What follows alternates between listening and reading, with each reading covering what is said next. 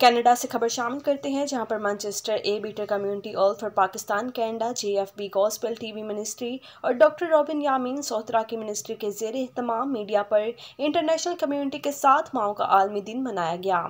इस प्रोग्राम की मेज़बानी bishop Mahboob Khan Sohotra reverend Noel Bhatti ने की, जबकि मावनत नादिया आतिफ ने की। प्रोग्राम का आगाज़ फादर पीटर अगस्टीन ने किया। इस मौका पर pastor Shakeel Anjum, doctor Aqsa Shakeel, Zarnaz Chaudhary, Christopher Kamran, Ansar Mushtaq ने गीतों के ज़रिए माओ को खराज तस्लीम पेश किया।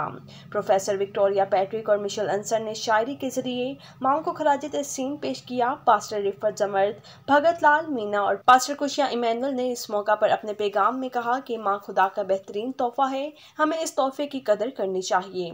बच्चों को चाहिए कि वो वफादारी और शफकत से माँ से पेश आए, ताकि उनकी उम्र इस दुनिया में दराज हो। प्रोग्राम के अख्ताम पर बच्चों ने अपनी माओ को फूल पेश किए और केक काट कर माओ को डे की मुबारकबाद पेश की।